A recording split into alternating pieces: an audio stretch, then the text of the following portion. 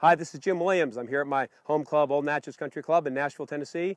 And I'm on the range this morning. I'm working on some width and some coil in my backswing. What I'm trying to feel is a little more of a stretch or a real dynamic load up, sort of like I'm an archer pulling a bow back. So what I want to feel is like I'm spring loaded. So I use some tubing from time to time. This is just lightweight little medical tubing. What I like to do is I'll put the club down I'll step on the edge of it like this, and I'll grab it sort of like I'm going to hit a shot, and I'll stretch the tubing back like this. So what's happening here is I really feel a good coil into my trail side.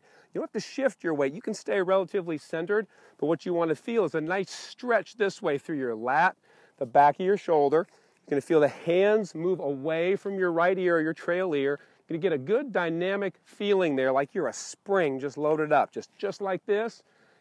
Do it a few times and get the feeling. I feel a nice internal turn on my hip there, no swaying, a nice full backswing, and then I'm going to let it go.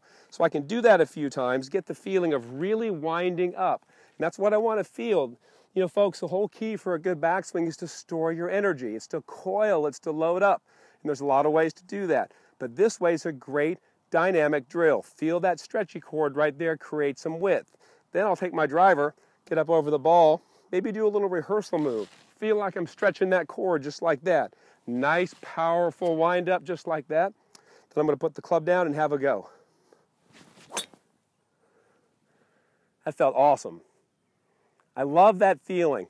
Is I feel like the club's out more, it's not up and long, and I really feel like from this position that I can only motor through the ball into a full finish. And I always want to feel a nice complete rotation to my finish. And that really helps when you have the feeling that you create with that band. So good luck.